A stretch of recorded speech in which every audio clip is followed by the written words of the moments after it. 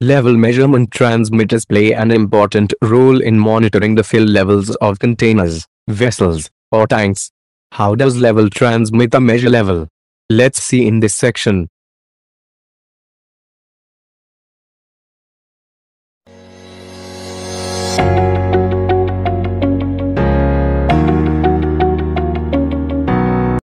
There are fundamentally two ways to measure level of a fluid in a vessel, which are, first one is direct level measurement.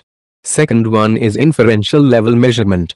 Float, magnetostrictive, retracting, capacitance, radar, ultrasonic and laser level measurement falls under direct level measurement technique. Differential pressure level measurement comes under inferential level measurement technology. Differential pressure transmitters are versatile and level measurement is just one of the processes where DP transmitters are applicable. Even though there are specialized devices for these measurements today, many field engineers still prefer good old differential pressure transmitter. A differential pressure transmitter is composed of a pressure sensor and a transmitter. The cell has two pressure chambers separated by a diaphragm. We call one chamber the high pressure side and the other the low pressure side. Differential pressure level measurement technique makes use of a differential pressure detector which is installed at the bottom of the tank whose level is to be detected. The liquid inside the tank creates pressure which is comparatively higher than the reference atmospheric pressure. This pressure comparison is performed via the differential pressure detector. Let's see how does a differential pressure transmitter measure level. First we talk about open tank level measurement. In case of open tanks that is tanks which are open to the atmosphere, only high pressure ends of the DP transmitter is needed to be connected to bottom of the tank, and the low pressure end of the DP transmitter is open into the atmosphere.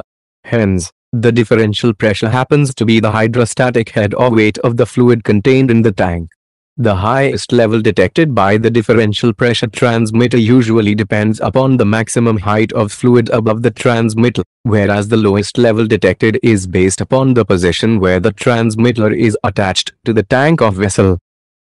We already installed the level transmitter in the tank, so how the transmitter measure the level? The DP level transmitter measure the level based on the Pascal equation for hydrostatic pressure.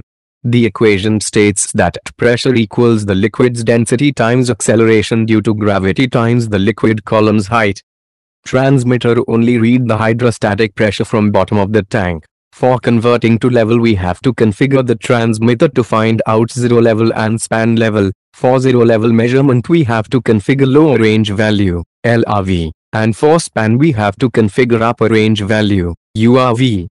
Commonly we use to find out the hydrostatic pressure act on transmitter is height of the fluid times specific gravity of fluid.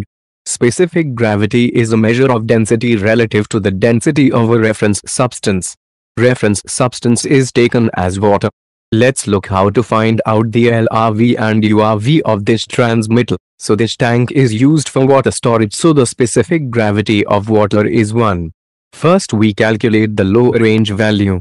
So the reference height is tapping point of the transmitter and this height we take as 0 millimeters. As per the equation the LRV equals height times specific gravity. So 0 times 1 that means lower range value is 0. Unit of pressure we take as mmH2O. For URV the take maximum height the tank can fill. Here we assume that 5000 millimeters. That's why URV equals 5000 times 1.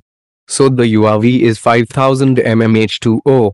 After we configure the transmitter, let's see how the transmitter read and transmit to the DCS or PLC. At first the tank is empty so there is no pressure, that means 0 mmH2O. So the transmitter send 4 milliamps to DCS. Because the transmitter signal is 4 to 20 milliamps, low value is convert to 4 milliamps and span will convert to 20 milliamps. Let's assume the level will raise up to 25% of the tank level. What will happen? The pressure also raised to 25%. That means 1250 mmH2O. Transmitter read the value and convert the signal to 8 milliamps and send to DCS. Let's assume the level will raise up to 50% of the tank level. What will happen? The pressure also raised to 50%, that means 2500 mmH2O. Transmitter read the value and convert the signal to 12 milliamps and send to DCS. Let's assume the level will raise up to 75% of the tank level. What will happen? The pressure also raised to 75%, that means 3750 mmH2O. Transmitter read the value and convert the signal to 16 milliamps and send to DCS. Let's assume the level will raise up to 100% of the tank level. What will happen? The pressure also raised to 100%, that means 5000 mmH2O. Transmitter read the value and convert the signal to 20 milliamps and send to DCS. I hope you all understood about open tank level measurement. How could measure a closed tank level? Let's explain in upcoming lessons. Keep watching.